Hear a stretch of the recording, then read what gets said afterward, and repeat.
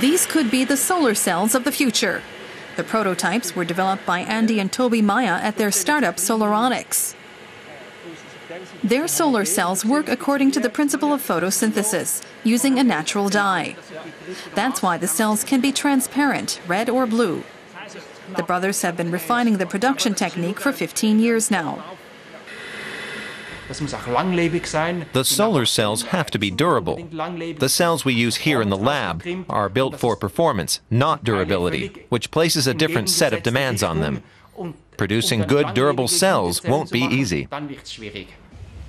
The inventor of this type of cell, Michael Grätzel, has been fascinated since his student days by the sun's potential for generating electricity.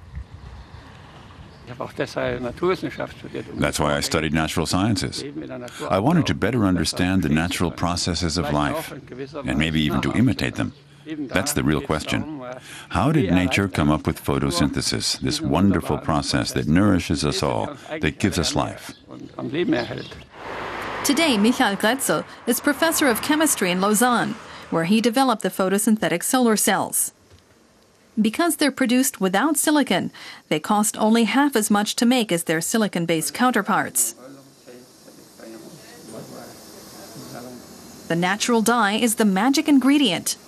It's obtained from fruit or berries, for example. The dye captures light and converts it to energy. A second glass plate is coated with tin oxide. That's topped with graphite and an iodine solution. Just like the chlorophyll in plants, the dye absorbs light to produce positive and negative charge carriers. And that generates an electrical current. The solar cells even work under low light conditions. You might think there's no energy in this room, but that's not true. Look here, you can see it. We're generating a few milliwatts.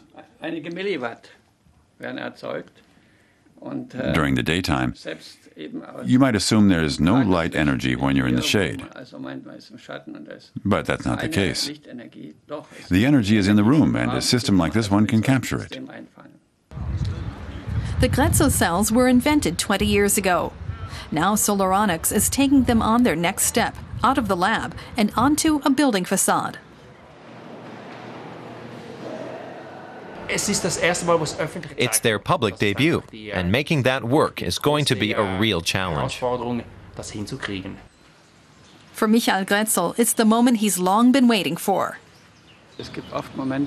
There are always times when everything looks grim, when progress stalls. But you can't let that sap your motivation and get you down. You have to let your passion for what you're doing drive you along and help you get past those difficult moments. But there's plenty of work to be done. Michael Grätzel is still looking for more ways to tap into the energy of the sun.